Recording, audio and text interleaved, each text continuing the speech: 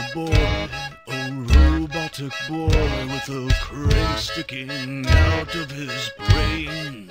He never performed with sadness or joy, he was just simply programmed to sing.